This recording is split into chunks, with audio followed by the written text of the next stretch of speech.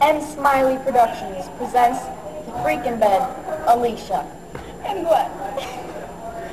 We, we all know Alisha is a delight. That's why Josh gets her every night.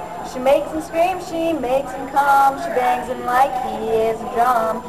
Alisha is a freaking bed. You should have heard what she said while she was humping Josh. You should have heard him scream. Oh my gosh.